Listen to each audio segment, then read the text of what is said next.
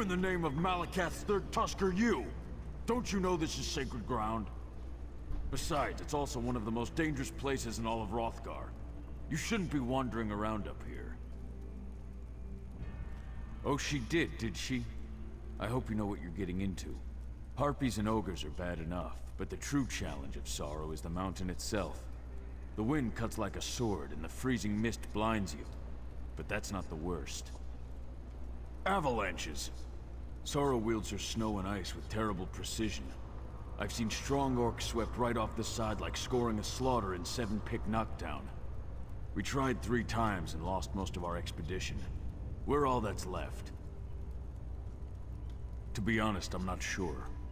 We barely made it this far before we got separated from the others. If you could look for our companions, that would be helpful. Regardless, we have to find Torug's shrine or all these sacrifices will be for nothing. The good orcs, each and every one of them. Expert climbers. But Sorrow isn't an ordinary mountain. Best way to find them? They should have placed markers to indicate avalanche areas. Just follow the markers. Sorrow may not be the tallest mountain in Tamriel, but it's certainly one of the deadliest. That's why the ancient orcs built memorials to their champions on its slopes. The higher the location of the tomb, the greater the sacrifice and prestige. We're looking for the shrine of the great orc hero Torug gro-Igron. Legend says that Torug's shrine sits at the very top of the mountain as befits the founder of the original Orsinium. But it's so high up that nothing can survive there. Extremely. We've already tried to get up there three times. We lost the rest of the expedition and had to turn back before we barely got out of the base camp. But the danger will be worth it if we could find Torug's legendary relics. I work for Orsinium's newly established museum. I'm their resident expert on the time of Torug, so the museum sent me to assist Lady Laurent and her manservant. I always dreamed of visiting the shrine, so I jumped at the opportunity. Her reputation brought her to the attention of the museum, and she loves digging around in old tombs. She has a particular interest in an ancient fragment that talks about Sorrow's Kiss. She believes it has something to do with Torug's shrine. At first, we got along fine. We both love history and exploring ancient sites. But the woman has been driving me crazy. She lacks the fundamental reverence for the past that separates a scholar from a grave robber. I just don't trust her judgment. Uh, fair enough. Stevens, don't you dare put down that firewood. It won't do us any good if it gets wet. You make a sound point, milady.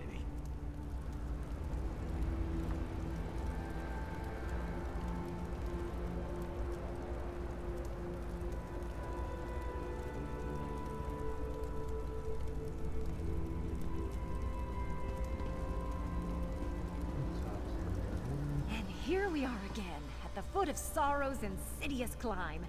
With your help, I hope we can make it farther up the mountain this time. If all goes well, we should reach Torug's shrine before Stibbons sets out our evening meal.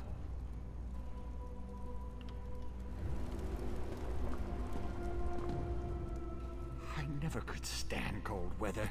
Chills me to the bone. I feel like a frozen icicle. More thoughts, Jimmys. More thoughts.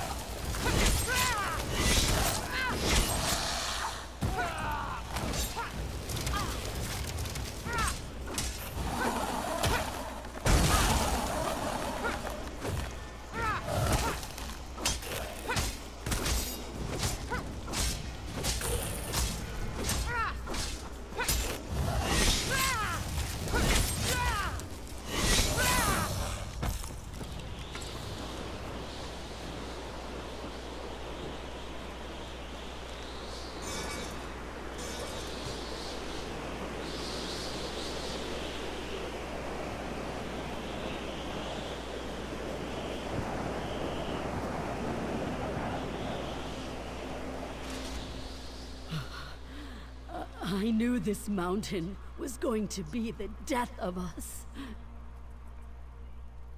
No, don't waste your time. I'm done for. An avalanche broke both my legs, but I no longer feel any pain. Sorrow is a harsh mistress, and her embrace is cold and deadly. The others, they went on ahead to seek shelter. Don't look so shocked. I'm dying. If they tried to help me, none of us would have survived. Go. Find them. They need your help. More than I.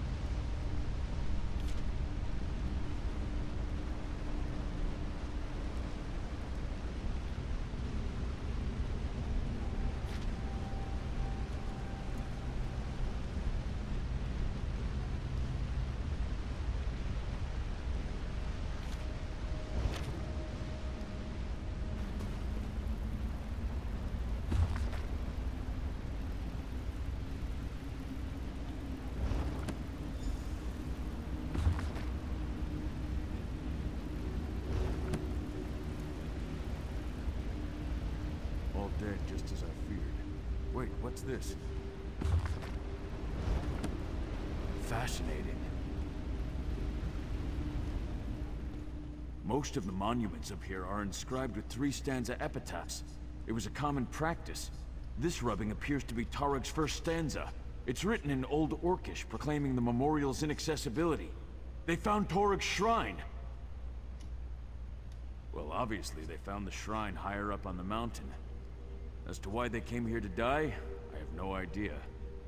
Maybe the cold or lack of supplies drove them down. Or they were coming back to meet us. Let us know that they reached the shrine.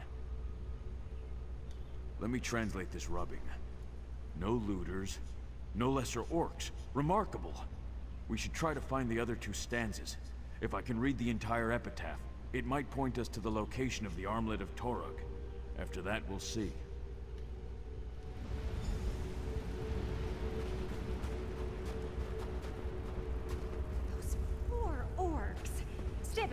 A deer and bury them.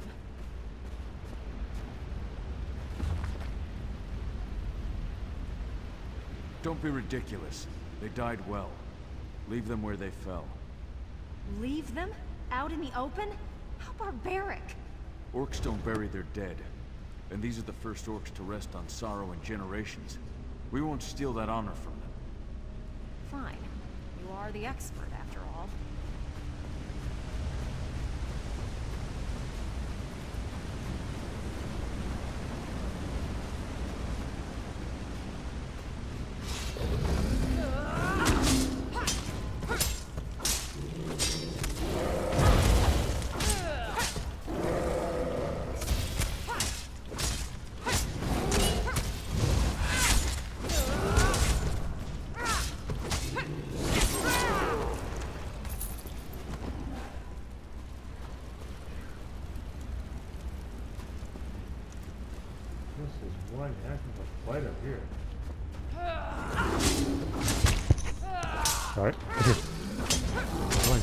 Of a few. here.